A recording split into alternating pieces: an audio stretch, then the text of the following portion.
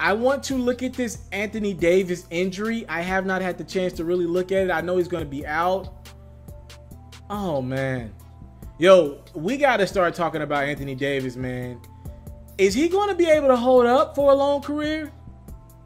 I don't know if he's going to be able to hold up, man. And again, he's like 6'11, very athletic. A lot of injuries, man.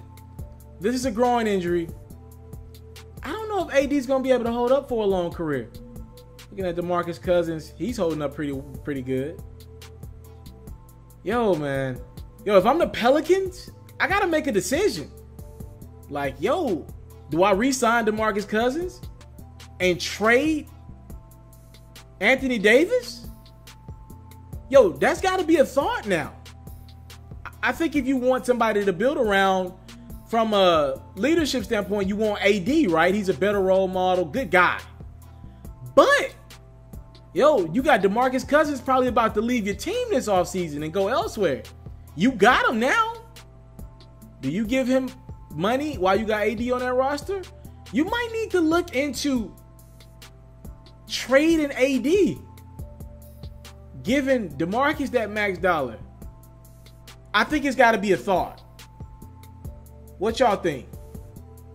I don't know if AD can stay healthy. Yo, these are like